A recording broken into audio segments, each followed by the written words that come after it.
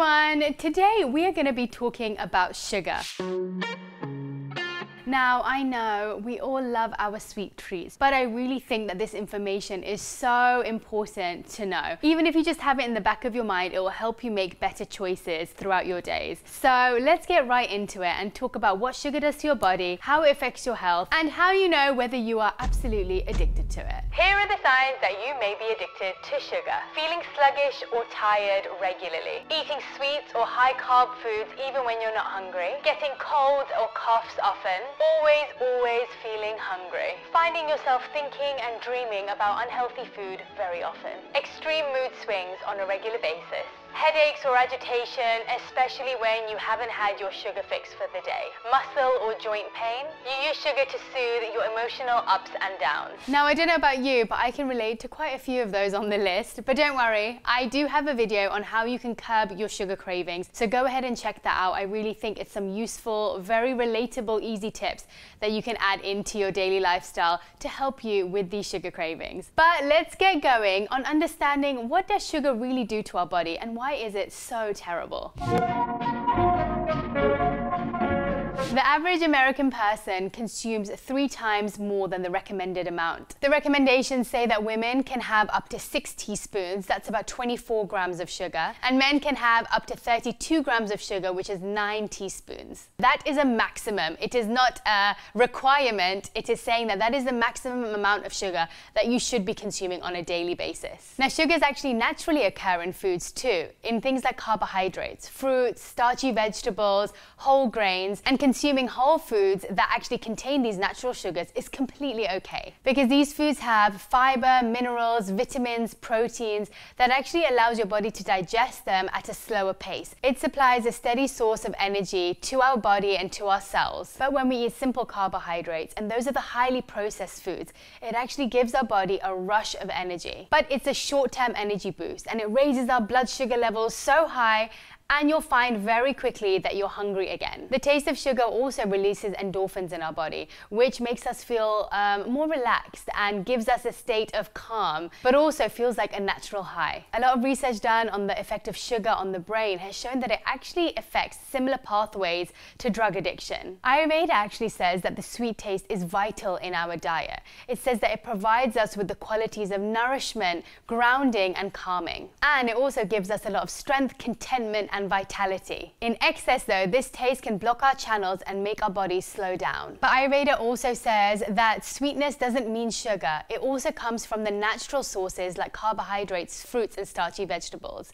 And having a wide variety of these in our diet actually allows us to feel balanced. And so then we don't end up craving or having intense cravings for these specific tastes or flavors. Having a little bit of sugar now and then in a controlled way is completely fine. But long-term long-term use of high amounts of sugar can have significant impact on your health. Some of the long-term effects include things like inflammation. And research has shown that a lot of conditions that are linked to inflammation, like rheumatoid arthritis and ulcerative colitis, find a reduction in inflammation when sugar intake is reduced. I can say from personal experience with family members and friends who have had these conditions that they have seen a significant difference in times when they have had high sugar intake and not. In fact, they've told me that when they have have things that are highly processed or that have a lot of refined sugar, they feel the pain in their joints immediately. Within an hour, they notice a difference in their body. And that leads us to diabetes. Now, there's often a misconception that eating sugar equals diabetes.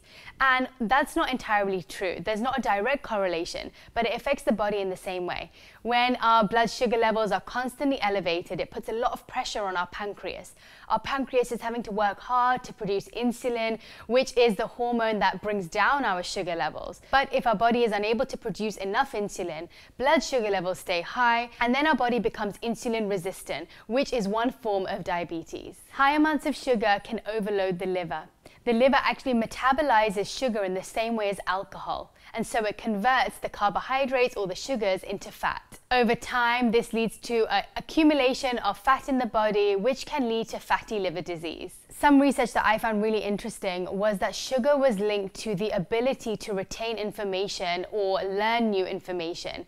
It said that with focus, attention, and even how our brain functions can be affected by the amount of sugar that we are eating. A lot of the times we're eating sugar and we don't even know it. It's hidden in different forms and different names, even in foods that you wouldn't think of as being sweet, like pasta sauces and breads. So we really need to get used to reading labels and taking it into our own hands, understanding what food am I putting into my body, what ingredients are in the packaged foods that I am buying. And even if you are not somebody who enjoys cooking or enjoys learning about food, really it's about your health. It's about you taking control of your health and being more aware of what you're putting into your body that could be causing a lot more harm than good. Honestly, the best way to avoid this is by having a diet which is predominantly maybe 70 to 80% based on natural foods rather than processed foods.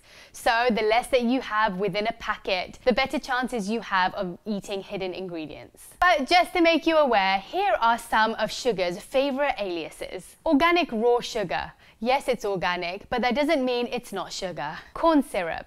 Yes, corn is a vegetable, but no, corn syrup does not count as one of your five a day. The oses, they're a cheeky bunch. They come in the form of sucrose, lactose, maltose, dextrose, fructose. There's a lot of them, so beware. Now, there are some natural sugars that you might see, like maple syrup, molasses, honey. They are better options, but they will still translate in your body or be digested in your body in the same way as sugars. So even though they are the better option, we still need to be mindful about how much of them we are having. There's also fruit juice concentrates. Now, fruit juice concentrates do come from fruit, but it's extracted and manipulated in a way where it's almost like drinking sugar but in juice form. Now, let's play a game of what has more sugar.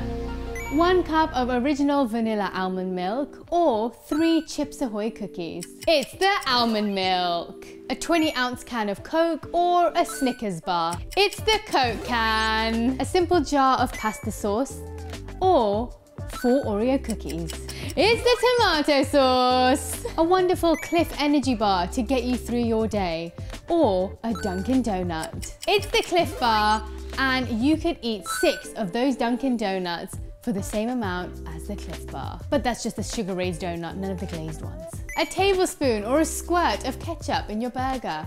Or four Oreo cookies. That's right, it's the tablespoon of ketchup. A delightful fruity yogurt or a box of Sour Patch Kids. It is in fact the fruit yogurt.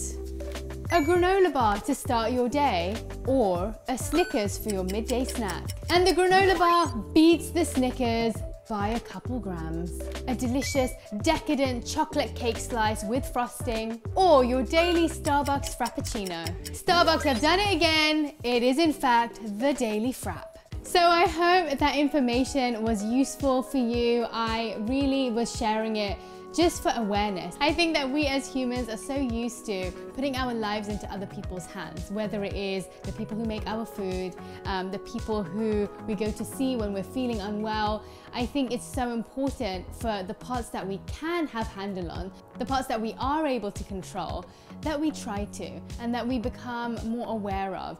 And hopefully this simple information is going to make you a little bit more aware when you're walking through those grocery aisles, when you are picking up something to eat, when you're making your way through your day and you're counting up the grams of sugar that you completely had no idea was going into your body. It's nothing to be scared of. It's nothing to feel fearful of.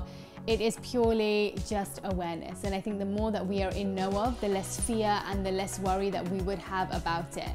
So I hope this helped and sending you all so much love and gratitude. And remember, I do have, like I said, another video which talks about how we can curb our sugar cravings for good. Sending you all so much love and gratitude and hope you have a wonderful week. Ah! If you liked this video, or even if you didn't like it at all, I'd really appreciate if you left a comment so I can get to know you just as you're getting to know me through these videos.